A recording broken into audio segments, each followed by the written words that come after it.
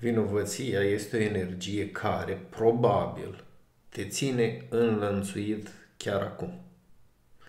Stă în puterea ta să-i dai voie acestei vinovății să plece. Motivul pentru care nu îi dai drumul vinovăției să plece este legat de tot felul de argumente pe care mintea le generează cu privire la utilitatea acestei energii a vinovăției. Sunt multe perspective și unghiuri dinspre care putem privi.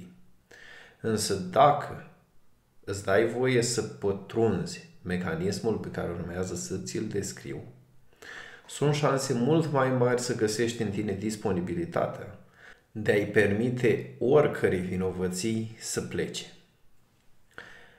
Motivul pentru care sunt șanse mari să nu-i permiți acum vinovăției să plece este acela că simți că este necesar să fii pedepsit pentru ceea ce ai făcut. Ești invitat să-ți amintești că Dumnezeu nu pedepsește. Dumnezeu nu bate, Dumnezeu doar iubește. Însă, există lăsat drept mecanism la nivelul universului în care ne aflăm, energia karmică, dinamica karmică. Acum, imaginează-ți vinovăția asemenea unui chem de energie care se află aici.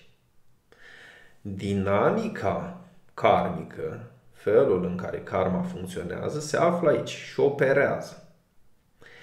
Această energie karmică va opera indiferent dacă vinovăția se află sau nu se află aici.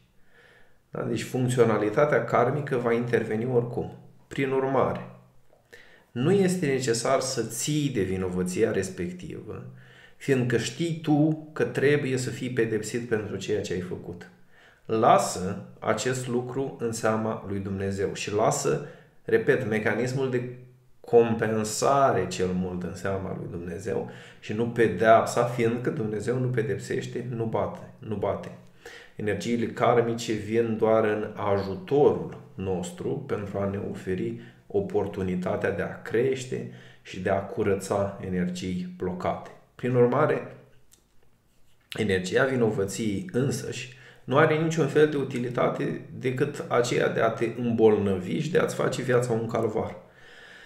Dă-i voie acestei vinovății să plece, fiindcă vinovăția stă doar fiindcă o ții tu. Dă-i voie să plece, permite-i karmei să opereze așa cum are de operat și cedează-te pe tine însuți lui Dumnezeu.